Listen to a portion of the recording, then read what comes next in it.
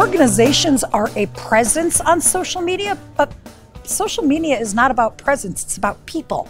People follow people. So a strategy could look some, as simple as um, we're going to make sure that uh, at every event, you know, we have a presence and we will um, tweet and Facebook pictures or Instagram pictures. And when we do that, we'll use a particular hashtag and we'll encourage people to use that hashtag and ask people to post their pictures and images and talk about their experience there and also use the hashtag. And then to be able to play that back using the hashtag is being able to see the actual social component of it. So being able to see people's feedback and their impression from their vision, their viewpoint, using their technology, whether they like to use pictures on Instagram, whether they like to talk in long verbose you know, and post it to Facebook, or whether they're, you know, short and sweet and quippy on Twitter.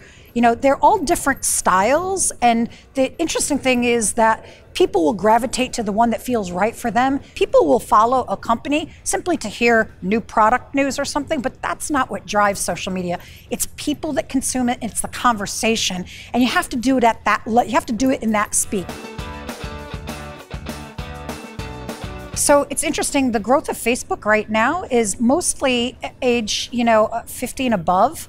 Um, and most of the younger generation is opting out and going for shorter, sweeter things. I mean, things that are like Snapchat, things that appear and disappear that quickly, um, are really popular right now.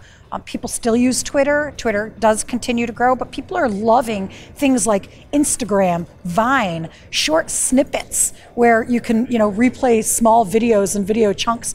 Hugely popular right now because it's social it has a certain amount of entertainment value. That's another piece of social media yeah.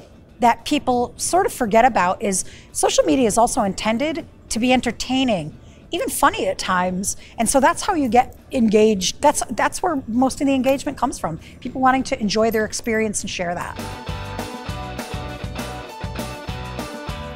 being able to use social media not just as an extension of your communication, but also to make sure that you build as part of any communication plans you have. If you have communications for rolling out new services, it should include components of social media.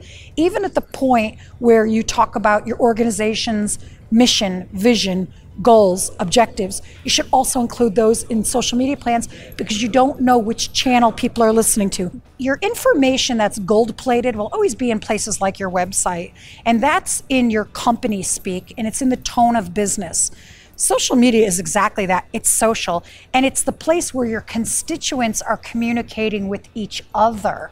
And so, what you need to do in terms of your strategy is making sure that you meet them at that place.